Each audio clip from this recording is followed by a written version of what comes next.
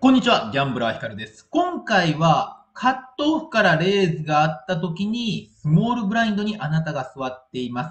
そして、えフォールドするのか、コールするのか、レイズするのか、そのハンドレンジ表について勉強していきます。まずはサクッとハンドレンジ表を確認していきましょう。スモールブラインドに座ってカットオフからレーズがありました。これがその時のスモールブラインドのハンドレンジ表になります。こちら、プリフローオープニングトレーニングの、まあ、レーズするハンドレンジ表なんですけど、これ、ハイジャックのオープンレンジと、カットオフのレイズするレンジっていうのはかなり違います。そのため、戻ります。スモールブラインドにあなたが座っている時に、ハイジャックからレーズがありました。その時のスモールブラインドのスターティングハンドと、カットオフのスターティングハンドでは、かなり、かなりじゃないですけどね、違いは出てきます。このアンダーザガンからのレーズとハイジャックからのレーズの時のスモールブラインドのハンドレンジ表に比べると、この2つのハンドレンジ表っていうのは大きく違いが出てきます。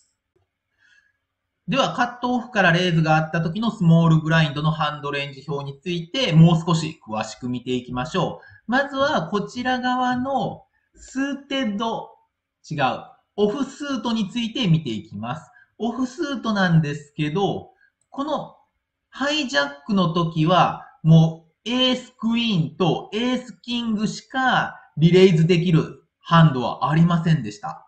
一方のカットオフからレイズがあった時のスモールブラインドのスターティングハンドは少し広がってます。ハイジャックからだとエースクイーンまでやった。それがエースジャックが増えて、さらにキングクイーン登場です。キングがね、出てきました。このキングクイーンでもリレイズができます。さらに、ハイジャックの場合は、77とか66のポケットペアはコールでも OK だったんですけど、カットオフからのレーズの場合は、もうすべてリレーズです。参加するときはリレーズで参加しろ。コールで参加することはありません。続いて、スーテッド側のハンドについて確認していきます。ここを見るときのポイントは、カットオフからのスターティングハンド表って何やったっけ？と思い返すことです。こちらがカットオフのスターティングハンドです。ここなんですけど、オフスート見てください。えー、ここにキッカーは10ラインがあります。そして A9。ここでレーズで参加することができます。このキッカー10ラインと A9 以上ならレイズで参加。ここを覚えてください。そして、あなたがスモールブラインドに座っています。カットオフからレーズがあった時のスモールブラインドからのリレイズするハンドは、これ見てください。カットオフのこちら側と形が同じです。キッカーが10以上であればリレイズすると。で、エース9以上であればカットオフからのレイズに対してリレイズしていくということです。つまり、ここのカットオフのエースエース9以上、えー、キッカー10以上のパワーアップ版。だってこっちってのはオフスートや。こっちってのはスーテッドやから、こっちの方が強いから、まあね、えカットオフが、ス、オフスートからレーズしてくるんやったら、俺はそれをスーテッド側でコピーするぜっていう。スーテッド側でリレイズするぜっていうのが、ここのね、えー、スーテッド側のポイントになります。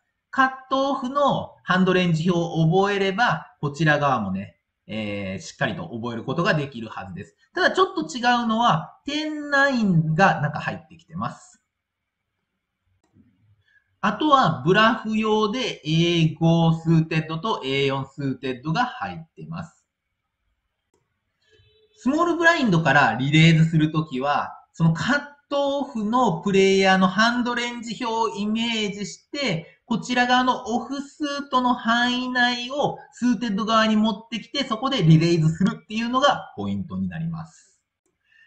では実際に今から20問やっていきましょう。あなたがスモールブラインドに座っていて、ハンドはキングと2です。そしてカットオフからレーズがありました。これに対してフォールドするのか、コールするのか、レーズするのか。全部で20問やっていきます。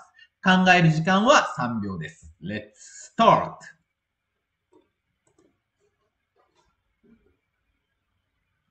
77、77、66までやったっけな、リレーズは。これはあの、ブラフ用よな。